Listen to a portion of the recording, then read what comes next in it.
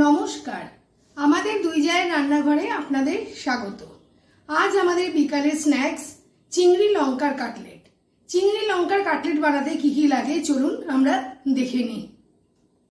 চিংড়ি লঙ্কার কাটলেট বানাতে আমাদের লাগছে চিংড়ি মাছ। এখানে আমি দুশো গ্রাম চিংড়ি মাছ ধুয়ে ভালো করে পরিষ্কার করে রেখেছি। শিমলা লঙ্কা, পেঁয়াজ কুচি, আদা কুচি, রসুন কুচি, পার্সলে কুচি পুদিনা পাতা কুচি, ধনে পাতা কুচি, কাঁচা লঙ্কা।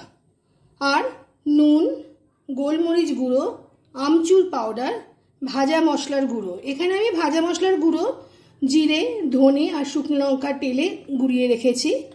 আলু সেদ্ধ করে রেখেছি। ব্যাটারের জন্য কর্নফ্লাওয়ার দুটো ডিম। আর লাগছে বিস্কিটের গুঁড়ো। আর সাদা তেল আমি এখানে চিংড়ি মাছ মিক্সিতে বেটে নেব। ফ্রাইং প্যান আমি বসিয়ে নিয়েছি। এবার আমি সাদা তেল গরম হতে দেব। তেল আমার গরম হয়ে গেছে। এবার আমি পেঁয়াজ কুচি দিয়ে একটুখানি নাড়িয়ে নেব। এরপর রসুন কুচি, আদা কুচি, কাঁচা লঙ্কা কুচি যে যেমন ঝাল খাবেন, সেই বুঝে কাঁচা লঙ্কা দেবেন। আর নুন দিয়ে ভালো করে কষিয়ে নেব। এখন চিংড়ি মাছ বাটা দিয়ে ভালো করে মেশাবো। গ্যাস কমিয়ে মশলাটা কিন্তু কষাতে হবে। চিংড়িটা আমার ভাজা হয়ে এসেছে। এর মধ্যে আমি আলু সেদ্ধ দেব। আলুটা আমি নুন দিয়ে মাখিয়ে রেখেছি। আলুটা আমি চিংড়ি মাছের সাথে ভালো করে মিশিয়ে নিয়েছি। এর মধ্যে পার্সলে পাতা চিনা পাতা আর ধনে পাতা দিয়ে ভালো করে মিশিয়ে নেব। এর মধ্যে দিয়ে দেব আমচুর পাউডার, ভাজা মশলার গুঁড়ো দিয়ে ভালো করে মিশিয়ে নেব। পুরটা আমার হয়ে গেছে, এবার আমি এটাকে ঠান্ডা হতে দেব। এখন আমি ব্যাটার তৈরি করে রাখব।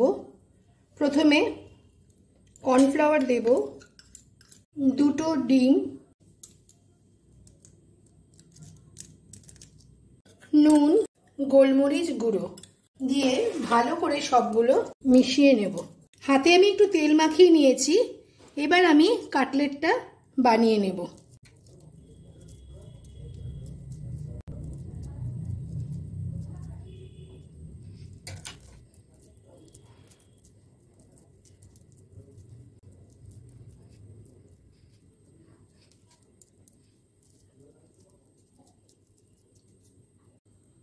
এইভাবে আমি সবগুলো গড়ে নেব।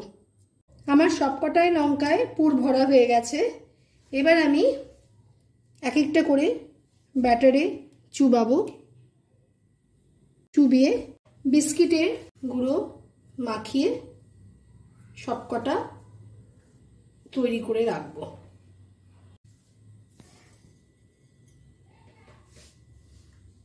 আমার সিঙ্গেল কোড হয়ে গেছে। এরপরে আমি ডবল কোট করে নেব।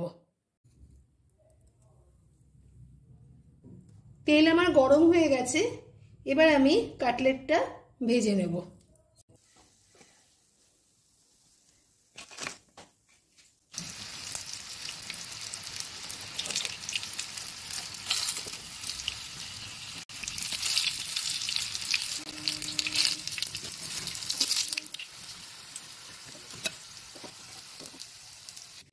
তৈরি হয়ে গেল আমাদের লঙ্কা চিংড়ির কাটলেট।